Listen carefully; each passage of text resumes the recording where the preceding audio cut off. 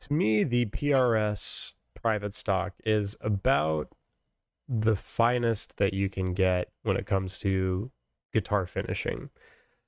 I have seen, I mean, I don't need to see these. I've seen amazing guitars, but you can see here clearly as well that PRS are no stranger to creating some of the most gorgeous guitar finishes on the face of the earth. And I've yet to see a boutique builder really touch the level of detail that some of these stains show. I mean, look at that. and I saw this video, and naturally, whenever you see a good artist at work, they're going to make things look a lot more simple than they are.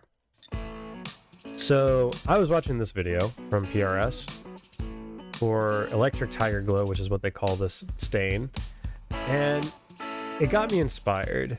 It got me thinking, like, well, that's a really nice finish that he's doing there. Why can't I do something like that? and naturally, as I continue to build guitars and, you know, learn more about this amazing craft of guitar building, my mind naturally goes to, well, how can I get that good at stating something? Could I create something that is that close? And so I started going down the rabbit hole, reading all these different articles about PRS and how they stain their guitars and how they get it as good as they do. And I asked myself that question Could I finish a guitar that was on the level of something that PRS would do?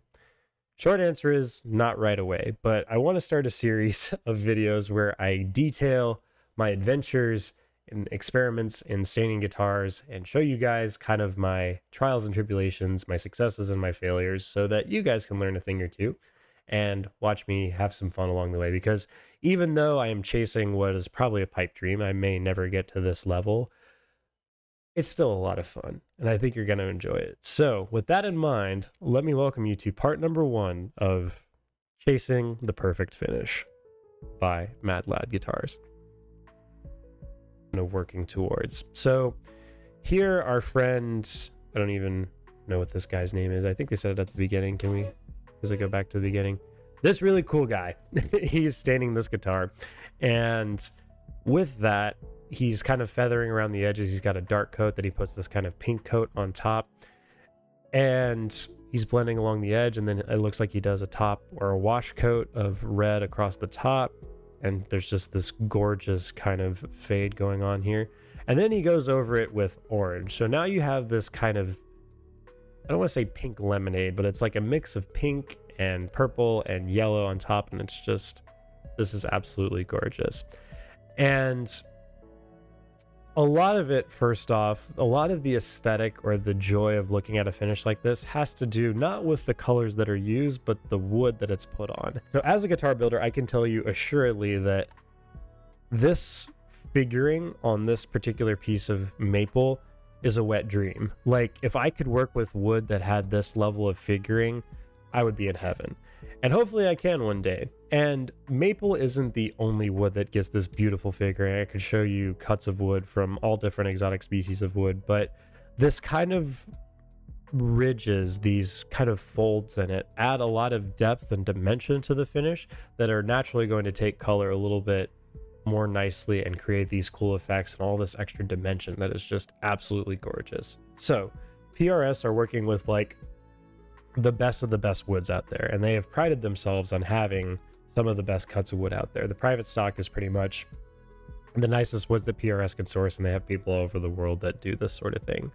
So, keeping that in mind when we're doing kind of our experiments, realize that I don't have access to like gazillion A flamed maple tops, at least not yet, but there's still some things to be learned. So what we saw was we saw some dark edging around here. So basically he filled in the edge here, then he blended over like a a red top coat that he did a wash coat. A wash coat is basically like a coat of one color across the top to kind of allow the color to darken and lighten where the other colors are. So it's over the top. And then after that, he put another top or wash coat of yellow on top of it, and you get this beautiful kind of tiger burst. Remember, this was blue and pink like a couple seconds ago, and now it's this gorgeous kind of amber to yellow fade.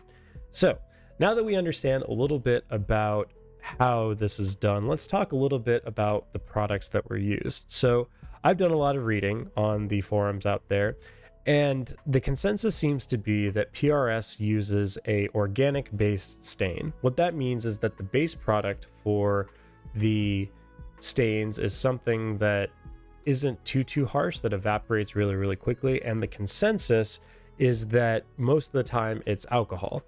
And so the test that you're going to see here in a little bit, I use isopropyl alcohol as a base, and a lot of people will say that using isopropyl alcohol allows the wood to dry very, very quickly, or it evaporates away very quickly. It off gases, and what's left behind is just pure color and stain. So it makes it a lot easier to work with. And so a lot of our experiments today are going to revolve around isopropyl alcohol. Of course, PRS isn't going to give away their secret sauce on their stains, but the consensus online seems to be that it's either some sort of fast drying compound like alcohol or some sort of organic compound that like dries really really quickly. And so without further ado we know the products kind of being used or we have kind of an idea that we can go in. We have I guess you can call it a hypothesis but we have some ideas that we can try out. We know that we're not going to get the super duper nice finish because we don't have the well i mean you can still get a nice finish but we're not going to have as much figuring just because that's we don't have access to that kind of wood yet, but let's see what we can get with what we have on hand and this particular Les Paul body that I'm going to be staining this afternoon. So let's head over, head over to the shop. Alrighty, so here's the lineup for today. We have chirping birds outside. That sounds wonderful. Yeah, 70% isopropyl alcohol, a little bit of unicorn spit. Pick this up at my car is not so pleasant. Unicorn Spit picked it up at Michael's, and then Mixol Dyes, which I picked up at Rockler. So we're going to see if we can't mix these up, and I have a spare offcut piece of Anigre. If I had to guess, it looks like this came off of a strap body, just based on the contour. And so we will be staining this and seeing what the results are, doing a little bit of mixing. Oh, also have mixing cups, and then my certified Walter White Hood Classic Vaporizer Protector Mask 6000 942.0. Yeah, 69420. Haha, funny number. But anyway, you want to be wearing these because isopropyl alcohol can be irritating. It's not like carcinogenic. I looked it up and everything like that, but it can give you a headache and hurt your nose or give you the snifflies or hurt your tummy. So probably don't want to be breathing. And here we are with voiceover Drew to walk you guys through this little time lapse. So first things first, I mixed up a little bit of unicorn spit black with the isopropyl alcohol and did the edges of this piece of ambrosia and did a little bit of red in the middle. And one thing you'll notice right away is that this Mixol opaque yellow or oxide yellow that I was using was very, very opaque. Whenever I put it over something, it kind of made everything look hazy. So that was takeaway number one from these initial experiments. But as I kept going and dip, trying different dyes, different wash coats, different application methods, I started getting really good with it. So I had this spare piece of ambrosia maple that I wanted to try out just to see what it looked like with a little bit more figuring, and it was looking pretty sweet. And then I put a bunch of yellow over the top of it and it got really hazy again. But you live and you learn. So far, so these first experiments are going pretty solid. Okay, and here are the results from round two. You can see that I really experimented on this board, but during the time lapse, you probably noticed that there was a really nice burst on this one. So I did learn a little bit about you don't want this hard edging, like where you can clearly see the black and then the red, you kind of want it to feather or fade in a little bit. So with that, I learned that if you just push a red coat over, or you just kind of like work it out, those lines will naturally kind of reduce as long as it's still wet. And you'll notice that I put multiple coats of red on top of it so that like the red kind of overshadows the gradient or the shadow that's created by the, the black ink. So with that in mind, very, very promising. I'm going to run one more test, and then I think I'm probably going to try and stain a guitar. So let's see how it goes.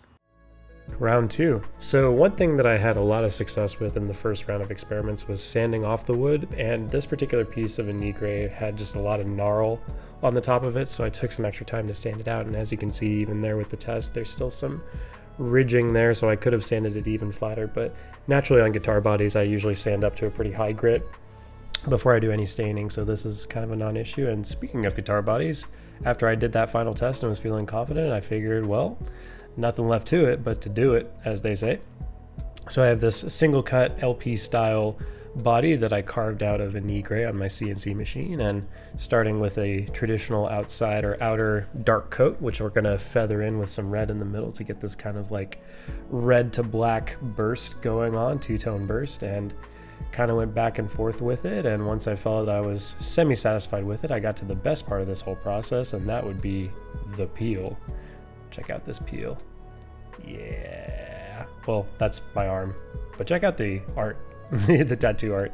Shout outs to Christina Ho. She's my tattoo artist out of Mansfield, Texas. But back to the peel. Yeah, that's the good stuff. But it's good. I was happy with this burst. But then, as an engineer, something crossed my mind.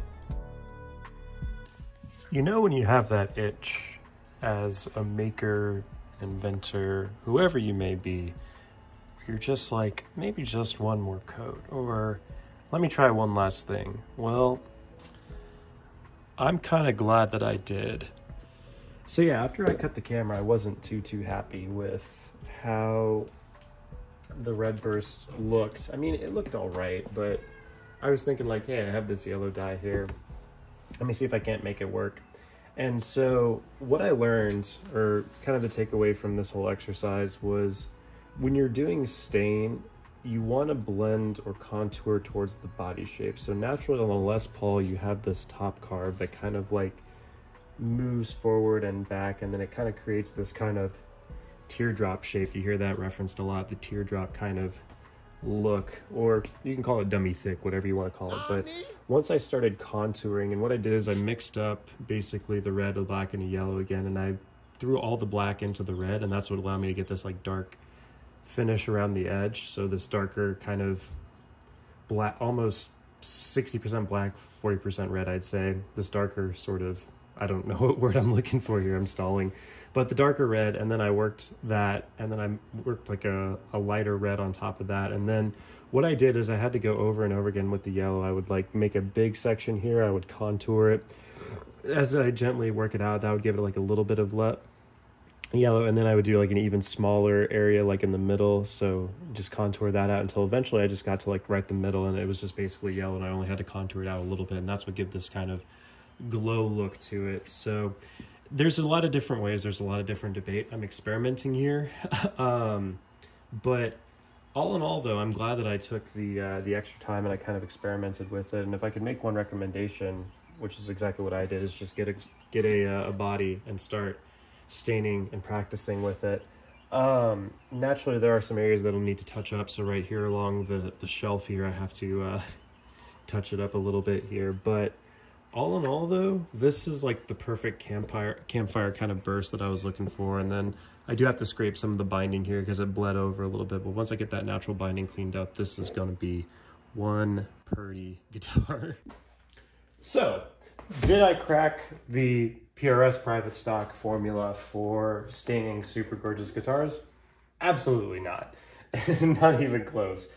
But to reiterate some of the things that I talked about in the voiceover, PRS has access to some of the nicest cuts of wood I think I've ever seen in my life, like the figured of the figured maple tops.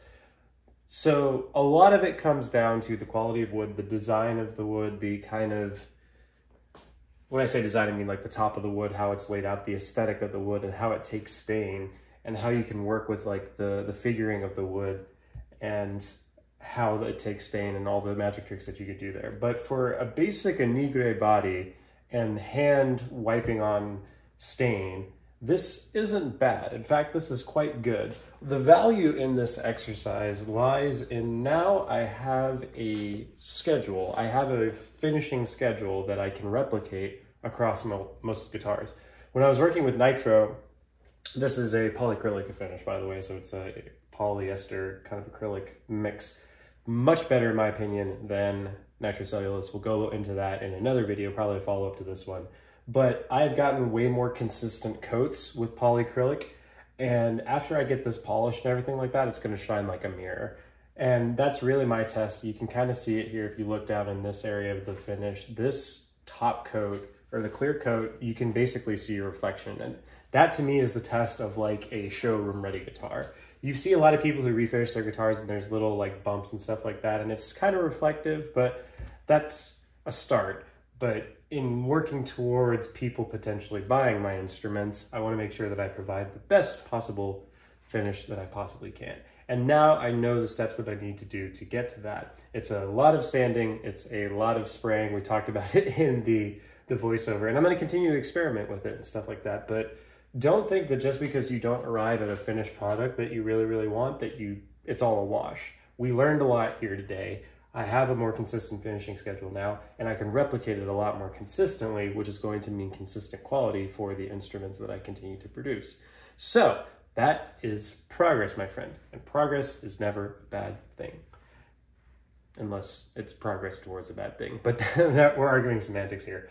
All that's to say, I'm very happy with how this turned out. I'm probably to carve a neck on this and do a short when I do the carve. I'm looking at the surface and seeing if I can see just how much nitros, or sorry, how much polyacrylic is on top of it. But yeah, be on the lookout for the video about nitrocellulose versus polyacrylic and my thoughts on that and kind of my experimentation because there's a whole discussion to be had about that that I didn't get into in the voiceover. So that'll be coming. And of course, if you guys like the videos and you like following my journey, even if it's like small steps like this, then definitely make sure to like, comment, and subscribe. Also, if you want to support the channel financially, you can go check out my Mechanyx GG page down below and you can subscribe there starting at $5 a month. Full disclosure, I do work on the Mechanyx GG team. So, but I love our product so much that I want to talk about it. And it's the best way to support me as a creator. 100% of all your contribution goes to me directly. We don't take anything off the top. And so you get a lot of awesome perks, including a shout out during the video. By the way, shout out today's video sponsor, Andrak, who's one of my day one Mechanyx GG subscribers. So big love to him. And we will wrap up the video in the normal way, and that is by me saying, always remember, friends, that you are wanted, you are loved, and you are appreciated. You have a special talent that nobody else has, and the world is waiting on you to bring it out. So muster a little courage, go out into the world, and change it. That's what the world's waiting on. You. Till next time, friends. See you soon.